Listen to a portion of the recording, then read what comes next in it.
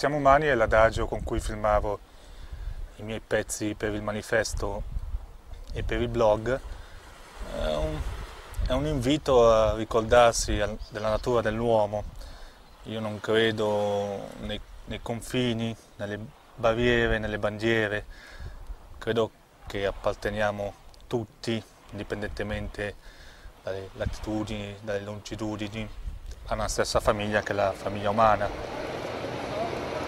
Stiamo umani è anche il titolo di questo libro che raccoglie i miei reportage scritti al meglio delle mie possibilità in situazioni di assoluta precarietà.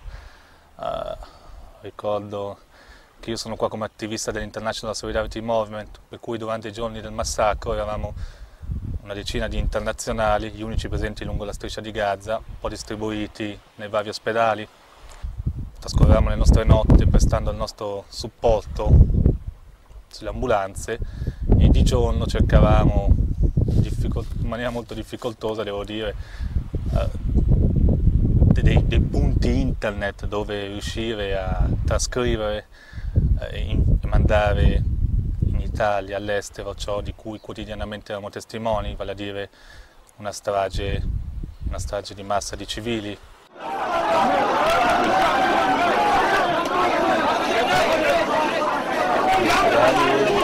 Stati convertiti dall'esercito italiano in fabbriche di angeli, perché eh, le prime vittime di questo massacro sono stati i bambini, 420 bambini uccisi, più di 1500 feriti.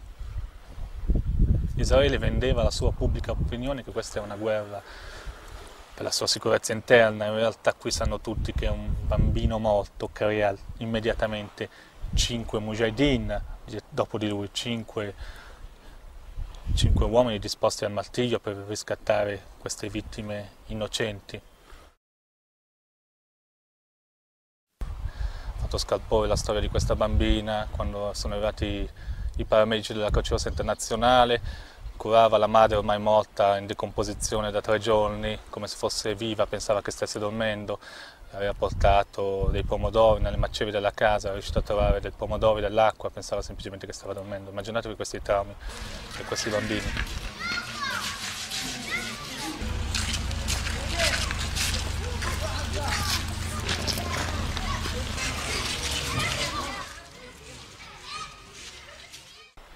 Io credo che ci siano diversi tipi di resistenza, c'è una resistenza armata che da queste parti non è stata molto efficace nel, nel cercare di arrestare l'avanzata dell'esercito israeliano proprio per mancanza di armi. E c'è un'altra resistenza, una resistenza civile portata avanti anche in questi giorni dai, dai contadini, dai pescatori di Gaza, i contadini.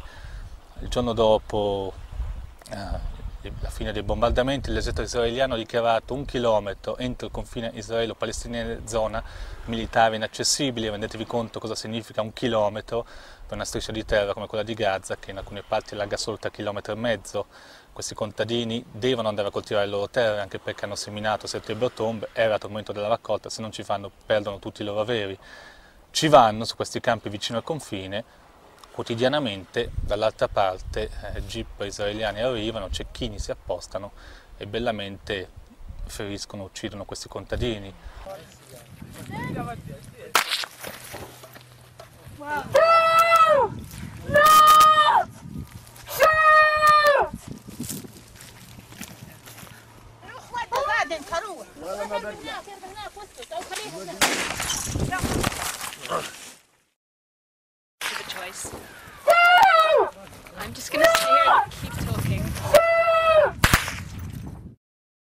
I contadini ci vanno lo stesso, come i pescatori.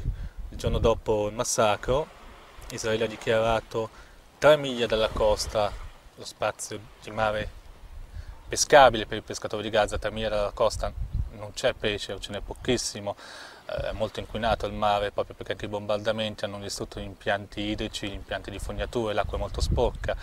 Siamo nel periodo di alta stagione per la pesca, c'è questa migrazione delle sardine dalla Turchia, i pescatori dovrebbero andare a pescare a 5-6 miglia, ricordo che le leggi internazionali sanciscono 20 miglia dalla costa acqua a sovranità palestinese, A tre miglia la marina israeliana intercetta i pescherecci e li attacca.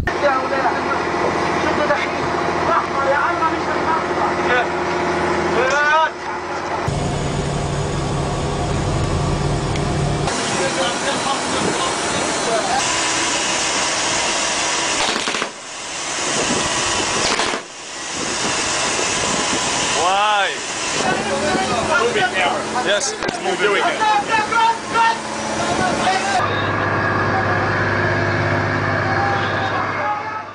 Durante il massacro la prima forma di resistenza civile era rappresentata proprio dai, dai paramedici, nonostante gli altissimi rischi del loro lavoro. Ricordo che eh, se, se avete filmato ci sono i danni eh, agli ospedali eh, di Gaza sono tangibili, in particolar modo l'ospedale a Quds è stato attaccato, è stato dato le fiamme, è stato bombardato col fosforo bianco. I paramedici io li considero i primi eroi di, questa, di questo massacro perché sapevano benissimo che i rischi che andavano incontro. Se i paramedici sono stati i primi eroi, subito dopo sono i giornalisti, perché anche essi erano obiettivi. Ricordo durante il massacro l'esercito israeliano, in particolare l'aviazione, usava tecniche terroristiche, tecniche di Al-Qaeda, bombardava un edificio, aspettava che arrivavano i soccorsi, aspettava che arrivassero i giornalisti, dopodiché scagliava un'altra bomba sullo stesso edificio e faceva stragi. I soccorritori ed i giornalisti, sei giornalisti sono stati uccisi durante il massacro.